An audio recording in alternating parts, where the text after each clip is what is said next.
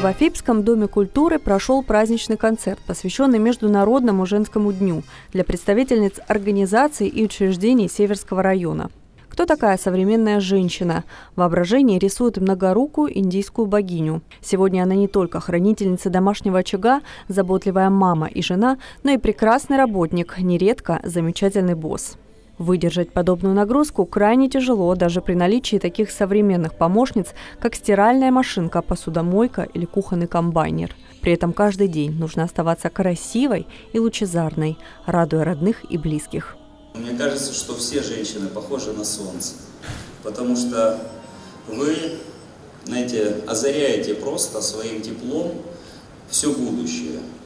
Потому что первое слово, которое говорит ребенок, это слово «мама» рождение на свет ребенка, это все связано с женщиной.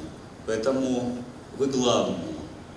Вы те мудрые шеи, как принято говорить, которые действительно наставляют на великие подвиги мужчин.